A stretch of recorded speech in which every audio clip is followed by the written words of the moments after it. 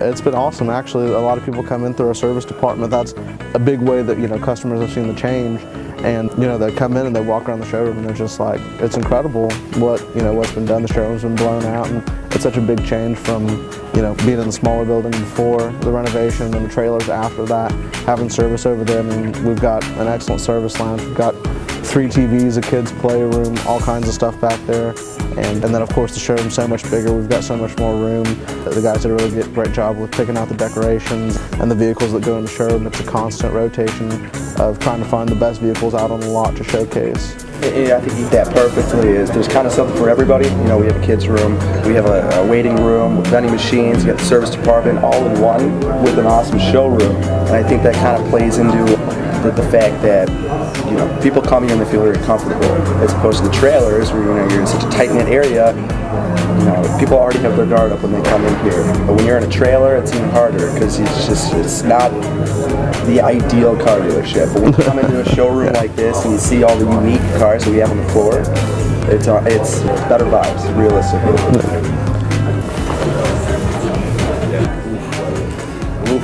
Yeah, we we actually have. Uh, it's actually a pretty special special vehicle we've got out on the showroom floor right now. We've got a 2015 Dodge Challenger Hellcat, and it's just it's a hard to find vehicle. Ours is beautiful. It's got 707 horsepower, manual transmission.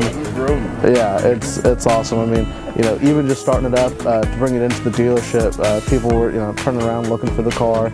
Um, it, it's just an awesome piece, and I mean to go along with that, we've got two Rebels now out on lot two Ram 1500 Rebels. a white one, like that granite. Yeah. white one out there, and then a gray one. We've got a bunch of vehicles that just came in right as we opened the new dealership, and I mean, timing couldn't have been more perfect. They're just excellent specimens of their lineup. It's always a sale here.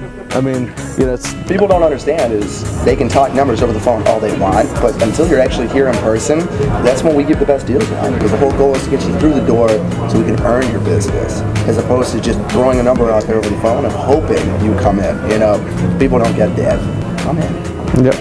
Phone, phone, phone calls go only such a long way. Yeah, and people definitely have that mentality of there's certain times that are better to buy a car. And I mean, of course, you come in on the weekend, you know, you're going to have the weekend sales. You come in at the end of the year, you're going to have the end of the year closeout sales, stuff like that. But the thing people don't realize is the model year ends sooner than the calendar year.